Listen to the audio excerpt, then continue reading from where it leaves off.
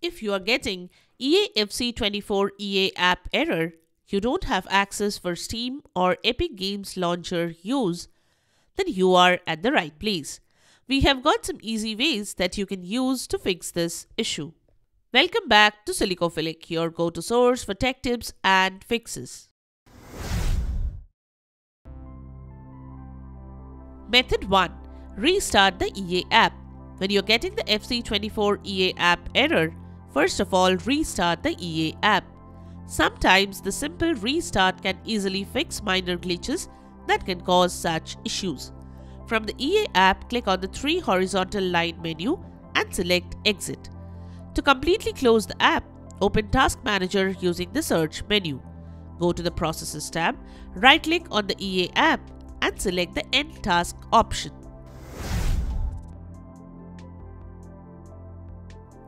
Method 2. Launch the game from Steam or Epic Games. You can also try launching the game from Steam or Epic Games when you're getting error from the EA app. If this does not fix the problem, then go to the next solutions. Method 3. Perform EA app recovery. Open the EA app and click on the three horizontal line menu. Click on Help, then click on App Recovery. Next, click on the Clear Cache button. Then it should restart the EA app and then try to launch the game.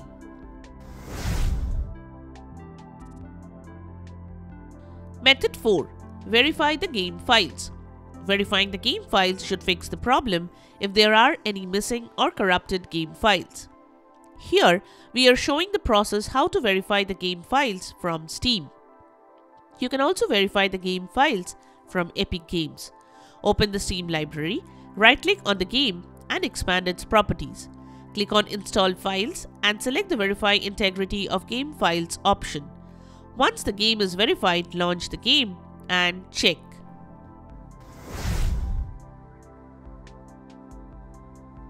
Method 5. Launch the game from the game installation folder. This will take you to the game installation folder.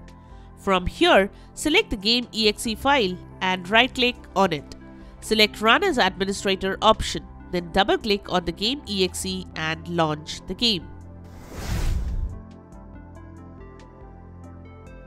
Method 6. Disable Firewall. Firewall can sometimes be overprotective and interfere with the game and cause issues. So disable firewall for the time being, since it is always recommended not to disable firewalls and antivirus as your system is vulnerable to malicious threats without them. Enable them soon after. Type Windows Defender Firewall in the Windows search box and select the top option. Click on Turn Windows Defender Firewall on or off. Click on the radio buttons for turn off Windows Defender Firewall options for both private and public network settings. Save the changes by clicking on OK.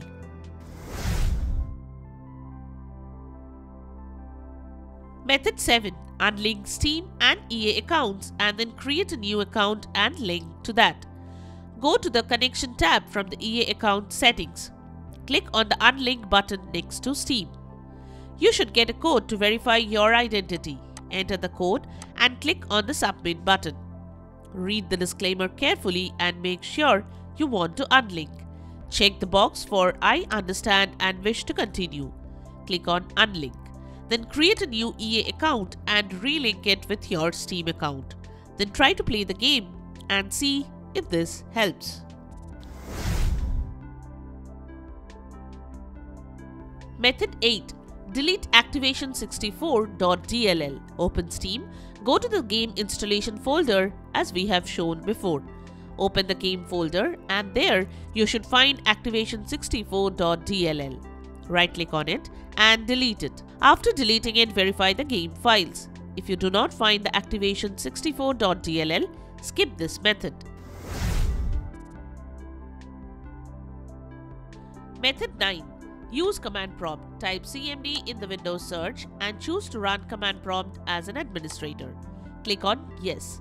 Type netsh win http reset proxy in the elevated command prompt window and press enter. Exit command prompt and restart.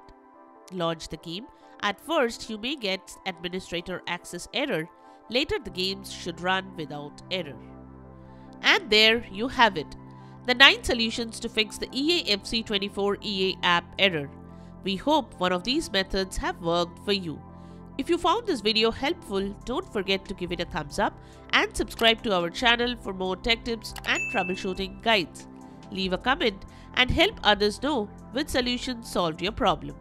Thanks for watching and we will see you in the next video.